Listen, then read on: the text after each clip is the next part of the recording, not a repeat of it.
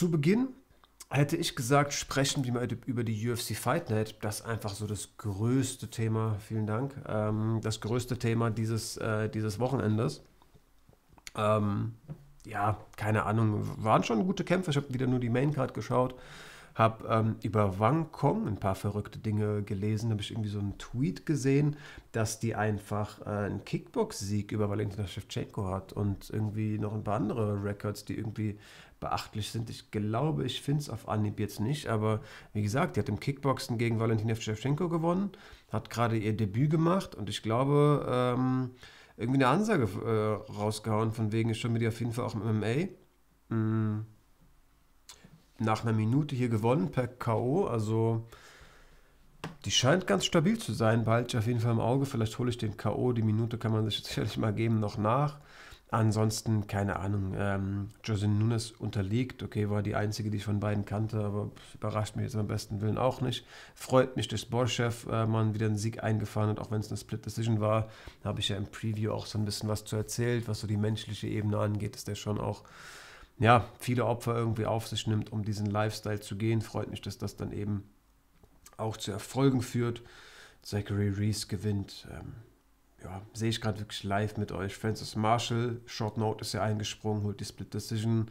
Natürlich voll undankbar, äh, undankbar für Buzukia, hat jetzt hier einen, einen Grappler vor der Nase, keine Ahnung. Ich glaube, der alte Gegner war zumindest nicht reiner Grappler. Halt schon auch man, man gibt immer so viel Respekt vor demjenigen, der Short Notice einspringt, aber schon auch einfach eine undankbare Aufgabe, Short Notice einen anderen Gegner zu bekommen, als derjenige, der eben im Kampf bleiben kann, vor allem wenn halt eine Stiländerung ähm, damit einhergeht und wenn du dann eben unterliegst. Ja, keine Ahnung, bittere Sache, so viel aber dazu, keine Prelims, die meiner Meinung nach so viel mehr Bühne benötigen. Ich wollte gerade sagen, ähm, ähm, verdienen. Das wäre auf jeden Fall hart. Äh, ich meine, ich mein, es ist die UFC so. Aber ich glaube, mehr muss man darüber eigentlich nicht quatschen.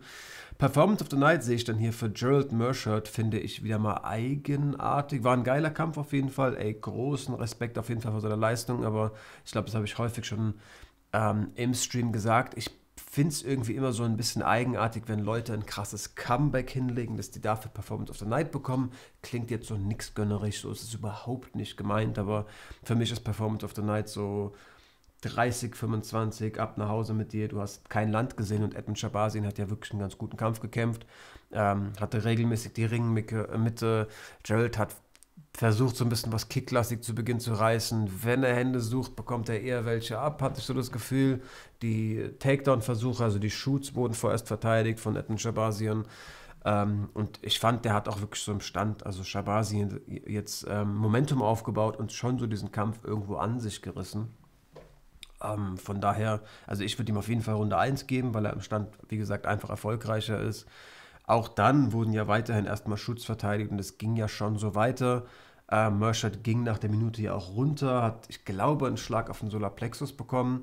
Ähm, shootet dann ja, fällt so halb auf das Knie und geht zu Boden. Ganz eigenartiges, äh, eigenartige Sequenz, wo wirklich nur er, wenn überhaupt, sagen kann, wie angeschlagen warst du? Hast du von diesem Knie noch irgendwie Wirkung gezeigt? Ich hatte das Gefühl, es war irgendwie so ein motorisches in den reinfallen, sich noch ein bisschen wegdrehen und plötzlich lag er auf, lag er auf dem Rücken. Wie auch immer, er lag unten und hat dann ja richtig lange Ground and Pound bekommen. Also ich will jetzt den Kampf auch, verfalle wieder in alte Muster, die ich mir abgewöhnen wollte, den nicht nacherzählen. Ähm, aber es ist ja irgendwo trotzdem alles Grundlage, um zu sagen, um nochmal meinen Punkt zu irgendwie ja zu unterstreichen, dass so eine Performance of the Night so ein bisschen was Komisches ist. Also ist eine krasse Leistung, sich so zurückzukämpfen, aber ähm, sieht für mich auf dem Papier aus, als ob da jemand dominiert wurde. Und so war es ja beim besten Willen nicht. Ähm, der hat mit der Zeit schon auch, dann als er irgendwann hochkam, so ein bisschen sloppy Hände gelandet und Shabazin wirkte motorisch ja auch nicht mehr so spritzig. Der hat sich einfach äh, müde ge gepoundet. Der Takedown gel gelang und was für mich halt einfach die Erkenntnis ist, dass schon nach wie vor die große Schwachstelle von Shabazi in Grappling ist. Also wie leicht ähm, Mershot diese Guard passieren kann, als er diesen Head-and-Arm-Choke äh, gegriffen hatte, war schon, ja, wieder so ein bisschen besorgniserregend, muss man sagen. Also ich hatte genug, nicht nur in der letzten Folge, in meiner kompletten YouTube-Karriere ähm, auf Shabazin geschimpft der, der arbeit, scheint dran zu arbeiten, aber es ist nach wie vor seine große Baustelle. Also der hatte ja, das war schon ahnbar, dass Mershot da auf die stärkere Seite passieren will. Das ist wirklich nichts, wo du, um das zu antizipieren, musst du kein krasser BJJ-Nerd sein. Das konnte ich mir sogar erschließen und das will was heißen. Ähm, ja, wie es Mershot dann macht, ist trotzdem stark, aber ich krieg's nicht mehr richtig zusammen. Man hatte irgendwie schon mit seinen, mit seinen Beinen das ganz gut erarbeitet. Er hatte irgendwie so einen kleinen Winkel geschaffen, über den er sich so rübergedrückt hatte. Wie auch immer. Ähm, natürlich weiß der im Schlaf, was er zu tun hat, aber es war schon. Also wenig Gegenwehr, wie gesagt, fürs Passieren dieser Guard, um halt auf die Seite zu kommen, den Schock ein bisschen zuzuziehen und dann kommt dementsprechend schnell, schneller der Tab. Ähm, ja, keine Ahnung, ey, Gerald Mershot, vor dem muss man einfach Respekt haben. Ist der nicht auch schon? Der ist 87er Baujahr, also der geht irgendwie auch auf die 40 langsam zu. Wir hatten generell viele alte Leute, muss man sagen, für diesen Sport auf der Karte mit Angela Hill und mit Jared Kennedy und so. Mershot sieht schon noch fit aus. Also gutes Callout auch, finde ich, mit Paul Craig, stilistisch wird es der Actionfight schlechthin? Ich glaube leider nicht, aber ja, keine Ahnung, Mann. Zwei Leute, die irgendwo ähnliche Stärken haben, beides gute Grappler sind, dass die aufeinandertreffen, würde schon Sinn machen. Ich könnte mir da halt vorstellen, dass die sich neutralisieren werden und wir ein schlechtes Striking-Duell sehen. Also so schlimm wie, keine Ahnung, ähm, Damien Maya gegen Ben Askren oder so wird es jetzt nicht, aber so das Grundprinzip wird, glaube ich, ein ähnliches. Die werden, ja, wie gesagt, glaube ich, ein Striking-Duell draus machen. Oder wir sehen halt wirklich gutes Grappling. Darauf sollte man hoffen. Ähm, ja, für mich ist so ein bisschen die Frage, die über diesen, diesen Kampf schwebt. Also Gerald Mershot macht sein Ding. Das ist für mich so, ja, gut gezogen. Krass, was der jetzt auch für Rekorde geholt hat. Hatte hiermit ja auch die meisten Finishes in der Mittelgewichtshistorie. Hatte bereits die meisten Submissions. Ähm, vorher bereits ist auch drittmeistes Submissions äh, Gewichtsklassen übergreifend. Also der ist wirklich am Rekorde jagen. Das muss man ihm einfach lassen. Durch die Konstanz einfach. Ähm, aber trotzdem war das irgendwie nichts, was mich, weiß nicht, weder schockiert hat, noch irgendwie in Gedanken versetzt hat. Gerald Merchant gewinnt mal einen Kampf. Ja, schockieren tut mich das nicht. Also ich sehe den nie als hohen Favoriten, eigentlich gegen niemanden, gegen kein gestandenes Mittelgewicht. Muss sagen, da, ja, vielleicht unterschätze ich ihn nach wie vor so ein bisschen. Aber die Frage ist, wie soll man Edmund Shabazien einschätzen? Also der hat im Stand ganz gut ausgesehen, jetzt aber auch nicht wie der Worldbeater. Ähm, hatte die gleichen Lücken. Keine Ahnung, irgendwie ist es schwierig. Also der, der ist halt wirklich noch blutjung, 26. Ich habe schon auch nochmal äh, ge gezuckt, als es, als es gesagt wurde. Oder war es noch jünger? Ich glaube 26 war Boraglio, ein 97er Jahrgang, 13, nee, kommt hin. Genau, der wird im November 6, äh, 27, ist 26. Ähm, da geht schon noch richtig, richtig viel. Aber der muss schon jetzt mal auf die Spur kommen. Muss man auch tatsächlich, finde ich, an diesem Punkt in der Karriere schon sagen. Denn der spielt halt im UFC-Mittelgewicht bereits relativ weit oben mit. Hat jetzt auch seinen elften Kampf, glaube ich, gemacht, wenn ich mich recht erinnere. Da werden halt keine Verschnaufpausen mehr drin sein. Und wenn du in dieser Gewichtsklasse noch was reißen willst, vor allem wenn wir uns jetzt mal auch vielleicht das Main Event der Karte nochmal vor Augen führen, das ganze Titelgeschehen, was da einfach für Leute rumlaufen, auch ungerankte Leute, also auch mit einem Abus und mit einem Bruno Ferreira, der der Gegner ist und so, da kommen halt wirklich harte Leute. Wenn da halt jeder weiß, ja, du bist ein ganz guter Striker, aber hast jetzt auch nicht die Knockout-Power, um da irgendwie jeden aus, äh, auszuknipsen innerhalb von Minuten. Ich meine, du hast auch mit Gerald Mershot anderthalb Minuten gestanden und es nicht geschafft, ihn aus dem Cage zu holen. Und sich jeder erahnen kann, ja, Ring, Grappling ist halt einfach nach wie vor ein Defizit, dann wird es halt einfach schwer. Ich würde ihm wünschen, dass er die Spur bekommt. Was heißt die Spur bekommt? Ich tue so, als ob der so voll am Abkacken wäre. So ist es ja nicht, aber dass der einfach ja, sein Game abrundet und ähm, es schafft, einen Kampf, auch wenn der Gegner vehement versucht, es anders zu gestalten, im Stand zu halten. Denn da sieht er ja wirklich vielversprechend aus. Ähm, ja, bin wirklich gespannt, wie gesagt, was der Golden Boy noch so reißt. Neil Magny, da haben wir den nächsten fast 40-Jährigen gegen Michael Moraes, sah dann halt wirklich crazy aus. Das war ein richtiges Statement, also ganz anders wie der Gerald Merchant-Kampf. Ähm, Michael Moraes scheint halt wirklich ja, sehr, sehr ernst zu nehmen sein. Ich meine, ich habe ja auch schon, würde ich echt sagen, von dem geschwärmt. Ähm, interessant auch vom Kommentar zu hören, dass der sich mit Belal Mohammed vorbereitet hat und Teil des Camps war, um Leon Edwards zu simulieren. Ist halt schon nochmal ein anderer Körpertyp, aber ja, guter Striker, warum nicht? Hilfreich sicherlich.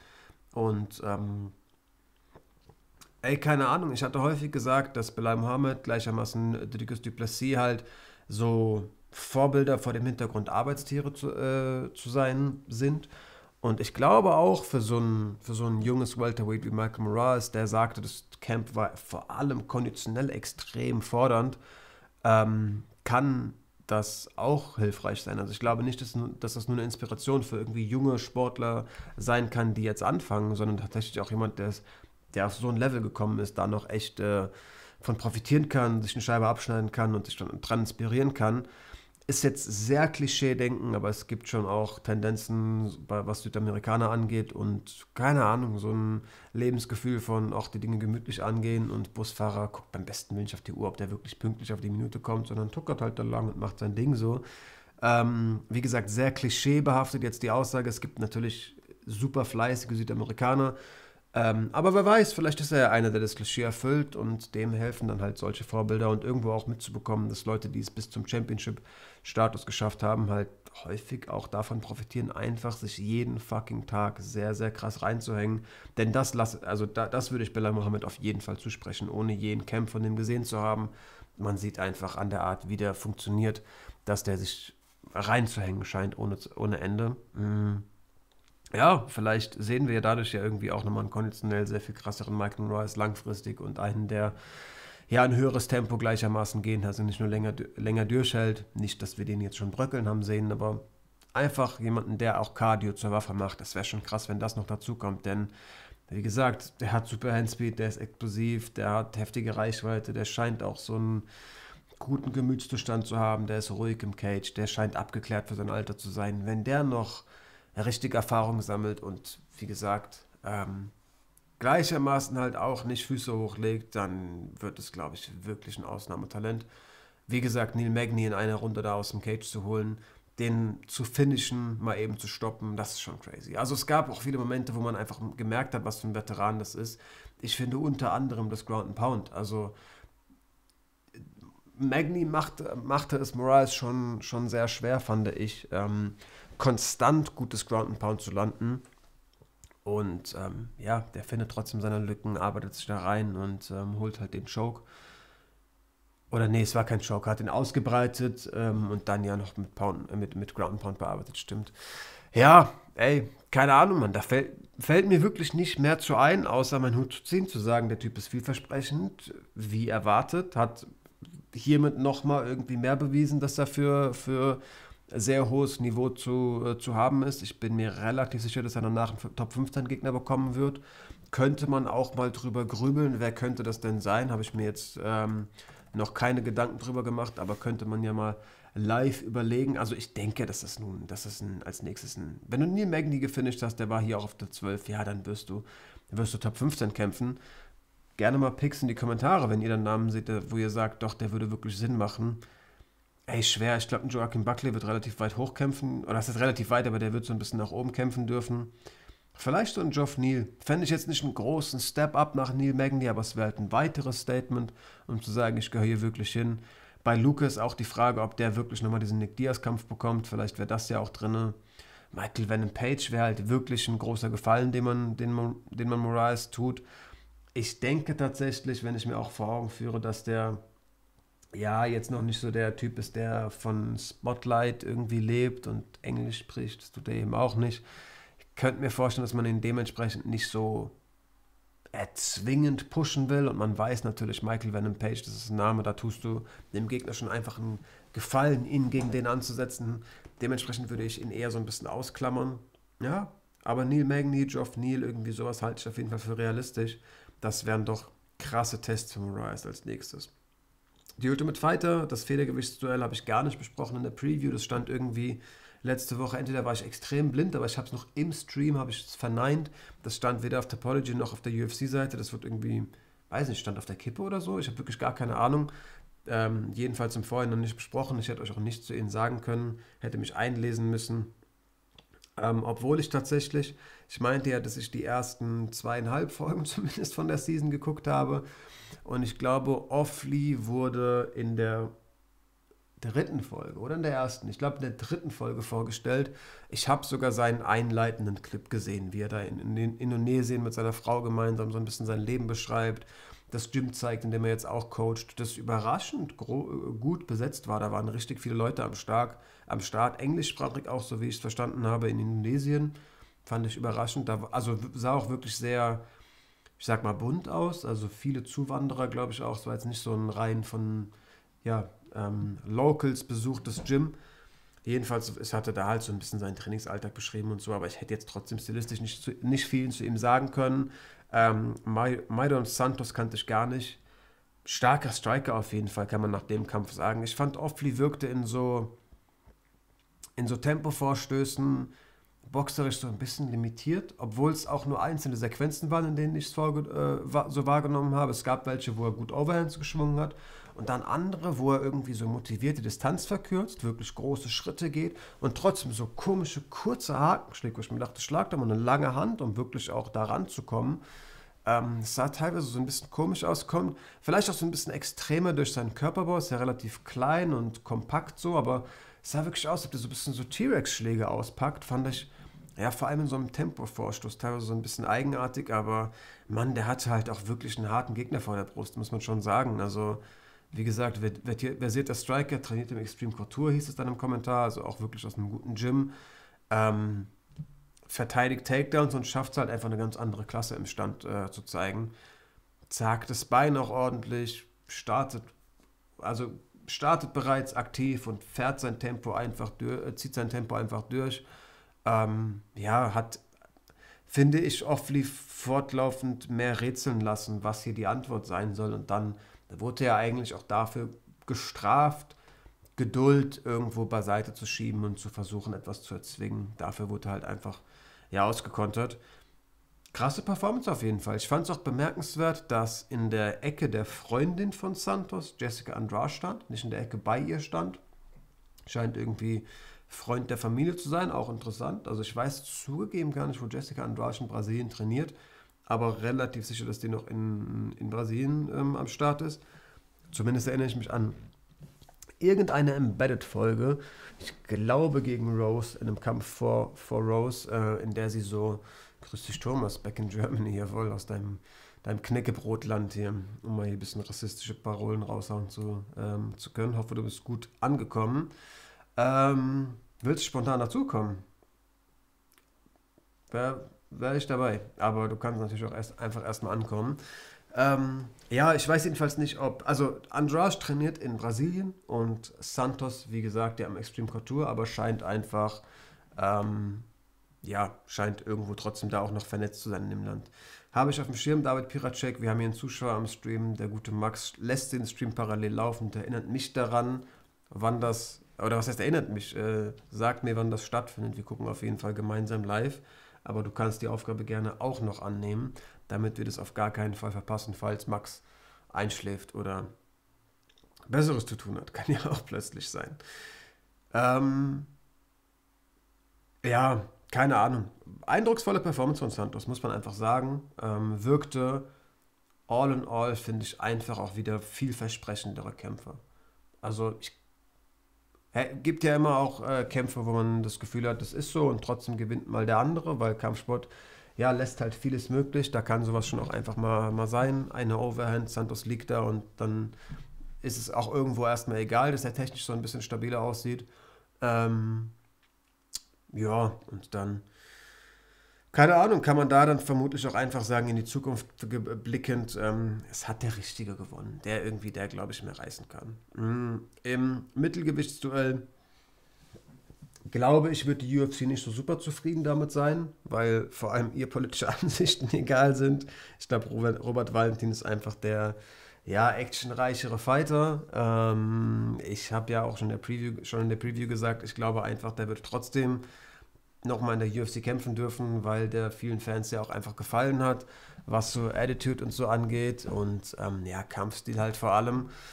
Ich habe nicht für ihn geroutet, auch das habe ich in der Preview klar gemacht. Ähm, habe dann auch tatsächlich über meinen Discord, als das Thema nochmal hochgekocht wurde, ähm, Hinweis darauf bekommen, ähm, dass der irgendwie auch ein aktuelles Video auf seinem Kanal hat, in dem er irgendwie klar sagt, jetzt ist es raus, ich sag's jetzt einfach, ich bin rechts und konservativ und ich stehe für Werte wie Familie und Nationalstolz und alles klar und sagt dann aber trotzdem irgendwie, hier wäre ein Ort, wo alle zusammenkommen können, wir können, können gern diskutieren, aber lasst uns auch hier mal eine Community aufbauen mit Gleichgesinnten, die sich hier auch einfach wohlfühlen und sein können, wie sie sind.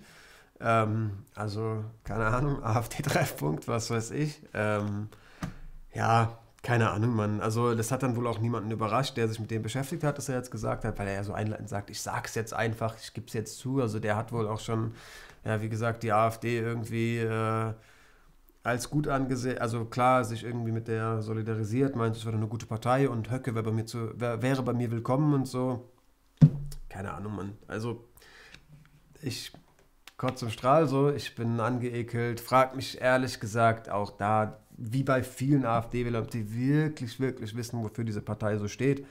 Ähm, häufig sind es dann ja auch einfach Leute, die sich von Schlagworten und so ein paar Phrasen irgendwie auch einlullen lassen und da eigentlich nie das Parteiprogramm gelesen haben. Keine Ahnung, Mann. Ich habe mir auch in der Preview vorgenommen, keine allzu harten Worte zu, zu verwenden und da irgendwie auch nicht zu hart urteilen zu sein, aber bleib hier weiterhin irgendwo bei einem klaren Statement gegen rechts so ähm, würde ich, keine Ahnung, ist gerade Thomas im Chat so, aber auch unabhängig davon, dass der jetzt zuhört, würde ich nie auf einer anderen Bühne machen, auf der ich irgendwie eingeladen werde oder so.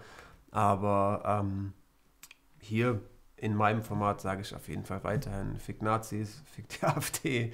Und äh, ja, wer dann halt irgendwie in seine Kommentarspalte schreibt, Höcke ist bei mir willkommen, für den kann ich nicht shooten, muss ich einfach sagen. Also wünsche ich dir mal jetzt was Schlechtes, deswegen nein.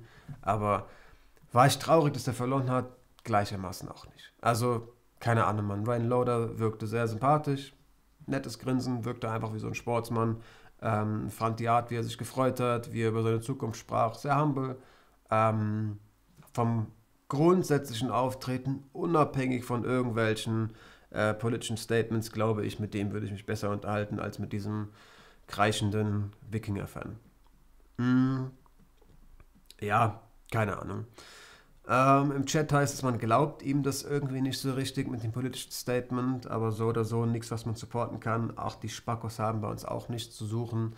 Ähm, aber nach außen muss man trotzdem neutral bleiben. Ja, natürlich, also Extremismus hat sicherlich auf keiner Bühne irgendwo was zu suchen, das weiß ich ja auch.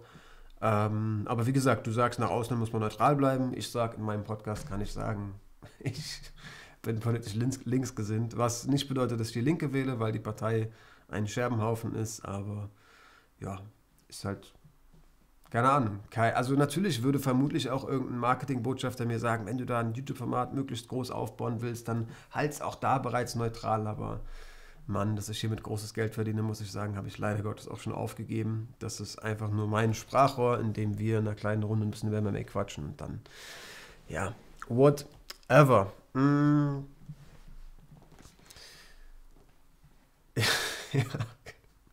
ja. ja, dann bist du ja halt auch nicht so neutral, aber ja.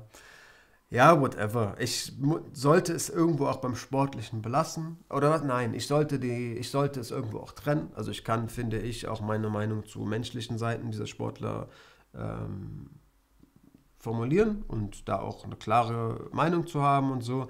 Aber man sollte auch irgendwo dann trotzdem einen Sportler als Sportler im Cage bewerten. Und ey, Robert Valentin ähm, ist explosiv. Ähm, ich finde auch am Boden hat er besseres Grappling gezeigt. Also Loader war natürlich der deutlich bessere Ringer. Aber ähm, gute Scrambles trotzdem von, ähm, von Valentin. Ja, also ich will jetzt auch nicht wirken, als ob der irgendwie der versierteste Grappler schlechthin gewesen wäre. Ich meine, in diese Crucifix hat er sich ja auch packen lassen und da ist er dann irgendwo drin verzweifelt und so. Aber ähm, ich fand, es gab viele Szenen, in denen er sich besser, also äh, seine Position besser ähm, verteidigt hat.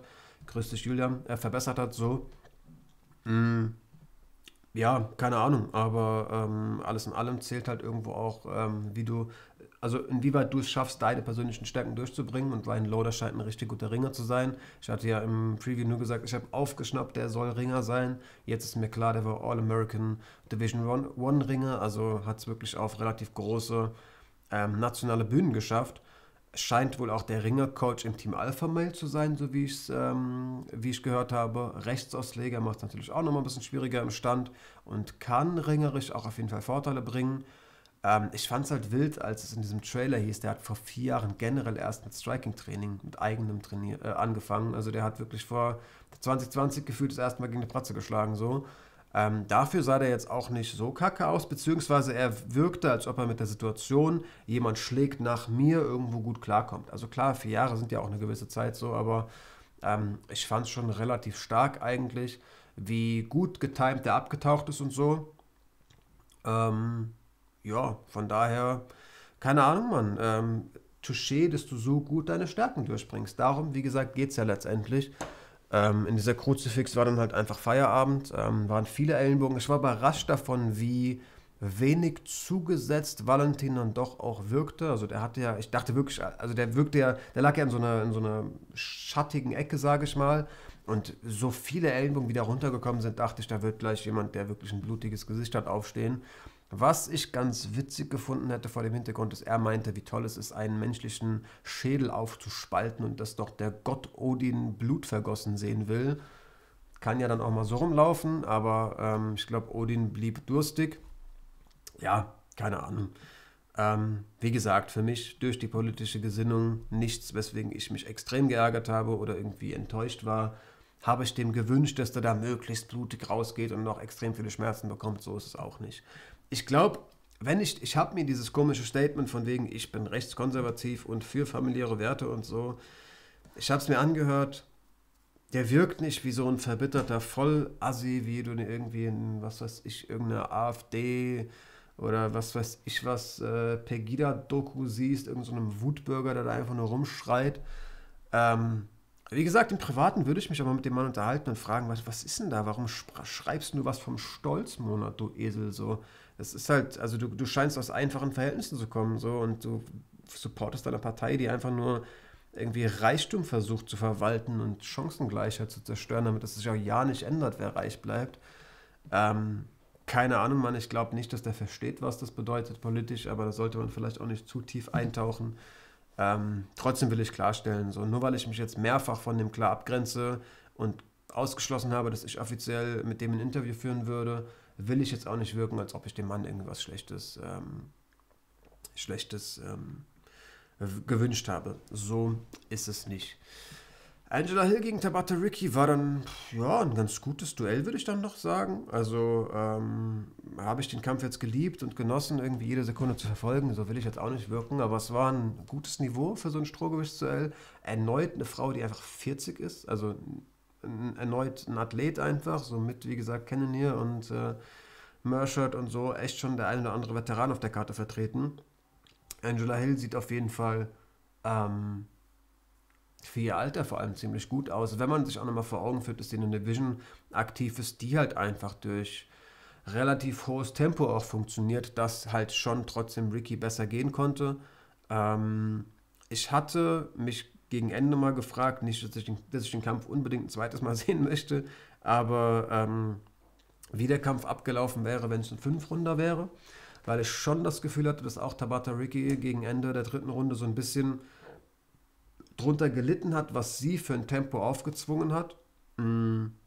Und ähm, ja, das war irgendwo auch die Waffe, finde ich, die ihr, wenn man es irgendwie auf eine Sache runterbrechen will, diesen Kampf ähm, das, äh, was sie diesen Kampf gewinnen ließ. Also für mich 29, 28 wurde ja auf allen Punktrichterzetteln gewertet, für mich vollkommen okay. Zwei ist ganz sicher ihre, Runde 1 fand ich auch eher sie. Runde 3 würde ich tendenziell eher Hill geben, von daher komme ich auch bei der 29, 28 raus. Ähm, Im Chat heißt, ich hatte das sogar knapp bei Hill, finde ich okay. Also ich, ich streite mich mit dir, wenn du sagst, 2 ist eine Runde für Hill, die sehe ich ganz klar bei Ricky. 1 sehe ich eher bei ihr, kann man aber Hill geben. Ähm, das wäre so meine Meinung. Wir können uns ja mal gerade die ähm, Scorecards dazu geben. Ähm, ja, Tabata Ricky ist halt einfach ohne Ende klein so. Also die ist äh, 1,55 klein, hat auch dazu nochmal relativ kurze Arme mit 1,57. Man merkte halt einfach an, ähm, ja, haben zu Runde 2 haben alle Leute bei Ricky und Runde 1 hat auch mal jemand Hill gegeben. Aber das finde ich ein bisschen, die, die Scorecard von Eric Collin fühle ich nicht so richtig, weil ich schon finde, Runde 3 ist eine relativ klare Hill-Runde. Also ihn fühle ich nicht so ganz, aber ich finde es jetzt auch nicht skandalös. Nee, kann ich, kann ich irgendwo so akzeptieren, wie das Ding gewertet wurde. Und auch, wie gesagt, mit, mit dir würde ich mich nicht äh, darüber streiten, dass man das auch Hill geben kann. Ähm, ja, Ricky wirkt halt einfach ein bisschen limitiert im Stand. So. Also die hat es halt, wie gesagt, über Volume äh, geschafft. Ich hatte das Gefühl, Hill wollte das so nicht gehen. Äh, also die hat, ist darunter gelitten, dass da so ein Tempo aufgezwängt wurde. Ich hatte das Gefühl, die ist eher auf Konter aus. Ähm, und das ging dann halt weniger, wenn du immer diese kleine, stockige Frau in your face hast. So. Es wurde phasenweise so ein bisschen sloppy im Stand dadurch. Und das hat halt dann der im Stand eigentlich ein bisschen technisch schlechteren Ricky gut getan. Ich fand es stark, dass Hill so viele Takedowns verteidigt hat. Ähm, das hätte ich in der Form nicht verteidigt. Und ich glaube, ich habe im Preview gesagt, damit steht und fällt für mich, wer diesen Kampf gewinnt. Was ich nach wie vor nachvollziehen kann, was der Vergangenheitsflot so gelabert hat. Also, ich hätte gedacht, wenn Ricky es nicht hier und da mal schafft, einen Takedown zu holen, holt Hill diesen Kampf.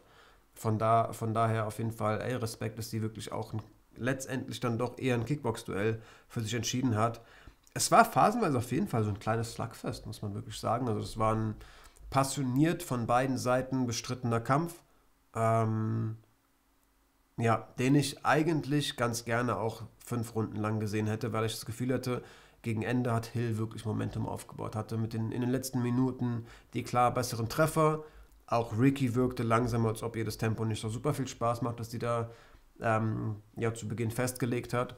Und ich könnte mir tatsächlich vorstellen, dass in fünf Runde die erfahrenere Angela Hill gehol geholt hätte. Aber bringt ja alles nichts. Wir haben nur 15 gesehen. Für mich ein verdienter Sieg, aber wie gesagt, knappes Ding. Ey, Statement-Sieg trotzdem. Also du hast damit halt auch ein wandelndes Rekordbuch mit Angela Hill geschlagen. Also die hat die, hat die meisten Strohgewichtskämpfe jemals äh, gemacht. Die hat die meisten signifikanten Schläge überhaupt, was Frauen in der, in der UFC-Historie angeht, gelandet. Die hatte die meiste Kampfzeit der, der Division. Ich glaube, die, die hat auch die meisten Siege gleichermaßen in der Strohgewichtshistorie. Also, ja, wie gesagt, das ist schon eine sehr, sehr namhafte Athletin. Ähm, die mir auch sympathisch ist, muss ich sagen. Also ich hätte mich jetzt auch eigentlich für sie gefreut, in den, im späten Alter, zumindest als Sportlerin späten Alter, im hohen Alter nochmal einen Sieg zu holen. Ich glaube ehrlich gesagt, die wird abbauen. Also, wie gesagt, über Striking in so einer kleinen, schnellen Gewichtsklasse in dem Alter noch gut zu funktionieren, sehr schwer. Bin mal gespannt, was man der stilistisch als nächstes geben wird, ob man ihr da so ein bisschen Gefallen tut oder nicht. Also, dass die so eine Carla Espasa irgendwie schlagen könnte, wenn sie es schafft, ein paar Takedowns zu verteidigen, kann ich mir vorstellen aber halt irgendwie eine, was weiß ich, Marina Rodriguez oder Jasmin Lucindo oder irgendwie sowas. Uff, glaube, das wird relativ schwierig für Angela Hill. Ja, und dann kommen wir beim Main Event an, bei einem richtig, richtig guten Kampf auf jeden Fall. Ich wurde leider gespoilert. Ähm, liebe Grüße an die Person auf jeden Fall. War natürlich nicht böse gemeint von ihr, aber ich wusste leider, wer diesen Kampf gewinnt, als ich in Real Life geschaut habe was sehr ärgerlich war, muss aber gleichermaßen sagen, trotz dessen hatte ich extrem viel Spaß daran. Also, ähm, das war wirklich ein sehr, sehr guter Kampf. Absolut berechtigterweise finde ich Fight of the Night. Wir haben den nächsten 40-Jährigen, über den wir sprechen, hier auch nicht an die 40, auf die 40 zugehend, an den kratzend, sondern einen 40-jährigen Jared Cannonier. Ähm, wovor wir eigentlich alle jetzt mal den imaginären Hut ziehen müssten, mit 40 Jahren, 25 Minuten so ein Level zu gehen, mit so einem jungen, hungrigen Killer wie Caio Boralio ist eine krasse Leistung. Jared Kennedy ist ein krasser Sportler auf jeden Fall, der halt trotzdem phasenweise, finde ich, so ein bisschen alte Muster verfallen ist und ja, irgendwo einfach mit seinen doch immer so ein bisschen limitierten Waffen ähm, hier mit der Zeit nicht weiterkam. Also der hat halt eine Powerrechte, der wirft Bomben, ja, wie ein Light Heavyweight, das wissen wir alle. Der hat lange Arme und schlägt gleichermaßen knackige Jabs, aber Caio Boralho gleichermaßen. Und ja, kickt halt hier und da mal ganz gut irgendwie zu einer Wade oder so. Aber ähm, ich fand, das war es halt irgendwo. Wir hatten ein reines Kickbox-Duell. Wir hatten nicht mal einen Clinch. Wir hatten ähm, nach vier Runden, also Anfang der fünfte, das erste Mal, dass Caio Borralio sich so zu einem Bein beugte und dann schon wieder wegging. Also, das muss man auch erstmal schaffen. Ich hätte schon gedacht, dass der versucht, hier und da mal auf den Rücken zu springen, wie gesagt, den Takedown zu holen ähm, und einfach dieses starke Grappling, das er ja auch hat, durchzubringen. Also, ich hatte im Preview gesagt, für mich ist seine größte Stärke Backtakes und diesen zu verwalten. Ähm, also Back Control, sage ich mal. Das kann der richtig, richtig gut. Und ähm, ja, hat es ja nicht mal versucht, diese Stärke durchzubringen. Leichtfüßig wie immer, wie gesagt, vor allem mit dem Jab extrem erfolgreich. Ich hatte ja auch im Preview gesagt, dass der als Rechtshänder meistens in der Rechtsauslage kämpft, was schon auch so ein bisschen Erklärung dafür ist, warum dieser Jab so knackig kommt. Also ich glaube, ich würde von einem Jab wirklich zu Boden gehen. Was heißt glaube? Ich bin fest von überzeugt. So. Also dieser Kampf startet, Caio Boraglio pumpt einmal so einen motivierten Jab ins Gesicht von Cannonier, das hat direkt geklatscht und ich dachte, jupp, ich wäre K.O. so. Also das ist wirklich krass, was der für eine Power generiert. Glaube ich auch eine Sache, wo wirklich viele, viele Zuschauer, Appell an alle da draußen, so ein falsches Gefühl von, was schaue ich da, ähm, bekommen. Also das ist halt wirklich ein sehr großgewachsener, austrainierter Vollprofi, der gute Technik hat, um in so einen Jab Power zu legen. Ähm, es ist crazy, durch was, die, was für Schaden wir regelmäßig Athleten einfach durchlaufen sehen. Und auch in diesem Kampf muss man sagen, Jared, Jared Kennedy ist wirklich auch ein verdammt taffer Hund. Gleichermaßen Caio Boraglio. Ich meine, wir hatten ja die Szene, in der von der Rechten auch wirklich mal ordentlich durchgewackelt wurde und da sehr stark drinne hing. Ähm, gut mitgeschwungen hat, aber irgendwo doch auch noch auf so eine kalkulierte Art, ohne da ja wirklich einfach russisch Roulette zu spielen. Mm also hat mich in vielerlei Hinsicht auf jeden Fall beeindruckt. Calf-Kicks sind natürlich auch absolut eine Waffe, die man in diesem Duell erwähnen muss. Ähm, es wurde halt häufig irgendwo auch so ein, so ein Duell der Calf-Kicks oder so ein Duell der Jabs, das dann, ja, ich glaube, Kenny eher akzeptiert hat. Und also weil es auch Waffen sind, die er selbst hat. Also ist er jetzt der beste Calf-Kicker? Nein, aber er ist vor allem jemand, der die auch hier und da mal bringt und vor allem mit Jabs auch stark arbeitet. Und der hat es halt, wie gesagt, zugelassen, dass er dann irgendwo auch sich so in diesen Disziplinen, so wirklich in einer Disziplin so gemessen hat. Und in denen ist er, deswegen meinte ich eben so ein bisschen alte Muster verfallen, schon auch einfach stets so ein bisschen inaktiver gewesen. Also, das ist jetzt eher so ein Verweis auf die alten Tage, die Kämpfe, in denen er mal schlechter aussah. Izzy ist natürlich das beste Paradebeispiel. Aber Leute sollten sich vielleicht auch nochmal an die Performance gegen Marvin Vittori erinnern. Jared Kennedy hat vor zwei Kämpfen noch gegen ein Top 5 Mittelgewicht seit Jahren richtig, richtig, richtig stark ausgesehen. Und eigentlich hatte man das Gefühl, er hat genau in dieser Lücke fehlende Aktivität ganz klar gearbeitet. Ähm, es gab ja auch immer wieder Phasen in diesem Kampf, in dem er sich das vorgenommen hat. Ich fand in Runde 2 zum Beispiel ist er sehr aktiv reingestartet. Ich glaube, weil er wusste und vielleicht auch von der Ecke gesagt bekommen hat, Fairerweise habe ich das geskippt, ähm, dass Runde 1 zu inaktiv war. Ja, ähm, für mich holt er auch Runde 2, weil er halt da Kaio so krass durchwackelt, kann ich an der Stelle schon mal sagen. Kaio ist äh, für mich auf jeden Fall Sieger von Runde 1, Runde 3 holt er auch, also Kaio Boraglio. Hat da ja auch ähm, Jared hier und da wirklich mal relativ satt getroffen, fand die ersten harten Treffer von Kaio kamen in Runde 3 erst und die haben sich halt direkt aufsummiert. Und im Gegensatz zu Jared Canyon trifft der halt hart, und versucht über Volume nachzusetzen und nicht noch so zielgerichtet eine harte Rechte finde ich noch, sondern der versucht halt wirklich einfach Volume hinterher zu ballern. Nicht unkontrolliert dumm, aber schafft es halt ähm, und hat, genau, ja auch spät in Runde 3 erstmals selbst durchgewackelt. Ähm, ja, krasse Performance ab. Also ich weiß gar nicht, was ich mehr zu sagen soll, außer jetzt hier die stilistischen Beobachtungen, die, glaube ich, relativ offensichtlich waren, irgendwie wiederzugeben. Ich bin nicht überrascht davon, muss ich sagen. Ich bin überrascht davon, dass ähm, er in der Form ähm, diesen Kampf bestritten hat, dass er gewonnen hat, nein, aber dass er wirklich ein reines Kickbox-Duell mit Kennedy gegangen ist. Würde ich gerne auch wissen, warum, ob er wirklich meinte, das ist der leichteste Weg zum Sieg, weil Kennedy verdammt, ein verdammter Brocken ist und auch ziemlich gute Takedown-Defense bereits bewiesen hat, oder ob er sich da selbst wirklich testen wollte. Ich finde, ähm, Runde 4 tatsächlich kann man auch Jared Kennedy geben, ist ein relativ enges Ding. Ähm, obwohl es da auch Phasen gibt. Also ich hätte, glaube ich, Runde 4 ihm gegeben, weil er ihm da so diese, diese Wange so blutig schlägt und das, also ich finde es dumm, aber ich versuche mich da an den, an den Orientierungspunkten der Judges einfach zu orientieren. Das ist ja schon auch ein Zeichen für, für Effektivität. Ähm, es gab da halt so Phasen, in denen beide mal so ein bisschen das Tempo rausgenommen haben und ich fand auf jeden Fall, das kon konnte Jared Cannonier sehr viel schlechter. Also so dieses Warten auf die perfekte Lücke, auf den perfekten Zeitpunkt, jetzt mal die eine Aktion zu bringen, das tat ihm auch nicht gut, obwohl ja eigentlich der Weg zum Erfolg von Caio Boraglio war, wie gesagt, ihn zu outstriken, ihn über mehr Output irgendwo zu besiegen. Ähm, naja, wie auch immer, so plätscherte halt irgendwie der Kampf dahin und Caio Boraglio sah in den meisten Szenen, finde ich, all in all einfach besser aus, bis wir dann halt diesen Knockdown nach drei Minuten der fünften gesehen haben, durch diese satte 1-2, dieses extrem harte Ground and Pound hinterher. Ich glaube, im Chat hieß es eben, dass ähm, man überrascht sei, wie lange da diese Phase noch ähm, weiterging. Verstehe ich, der ist schon, also vor allem die Art, wie er zusammengesackt ist, sah schon relativ übel aus. Ähm, das Ground and Pound schon auch, aber ja, keine Ahnung.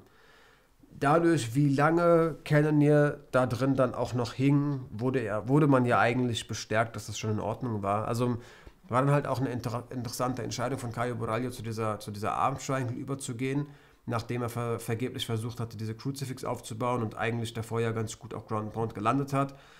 Ähm, die Arm Triangle sah auch eng aus. Also der Kopf von Cannonier wurde ja wirklich blass so, der wurde ja, wurde ja gefühlt zum Halbschwarzen. Der hat erstmal so einen Elternteil, wurde, wurde zum Weißen so für zwei Minuten.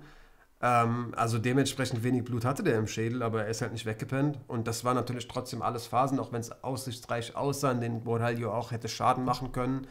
Wie auch immer, er gewinnt diesen Kampf ja absolut verdient nach Punkten ähm, setzt ein weiteres sehr, sehr großes Statement. Ist halt jetzt, wie gesagt, Teil der Top 5. Das ist schon crazy. Und ähm, ja, Spekulationen, gegen wen der als nächstes kämpfen darf, gingen im Chat ja schon weiter. Ich hatte nach dem Gespräch mit Merle, nach dem Dricus ähm, Adesanya Breakdown, auch das Gespräch, wie soll es weitergehen mit Izzy und ich halte das nicht für ausgeschlossen, dass tatsächlich so ein Caio Boralio auch einen Adesanya kämpfen darf. Die Frage ist halt, ob der so, so ein Duell annimmt, also der Name Value, auch wenn der jetzt ein Statement gesetzt hat von Caio Boralio, ist halt noch nicht so richtig da. Ähm, aber der hat jetzt sieben Kämpfe, Kämpfe ähm, in Folge gewonnen. Vielen Dank für die Info im Chat. Danke dir, Max, weiß ich sehr zu schätzen. Ja, also ich halte es dementsprechend wirklich nicht für ausgeschlossen, dass ähm, auch so ein Kampf zustande kommen könnte, weil Statements wurden gesetzt und Alternativen sind noch nicht so richtig da.